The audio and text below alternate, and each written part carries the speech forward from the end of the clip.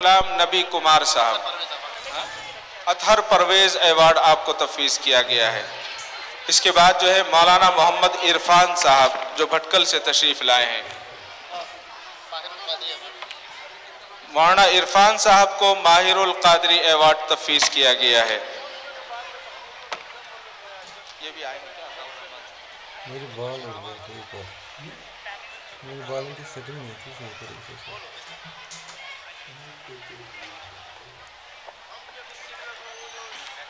Maulana Mohammad Irfan S M Nadvi Sahab. माहिर Qadri award.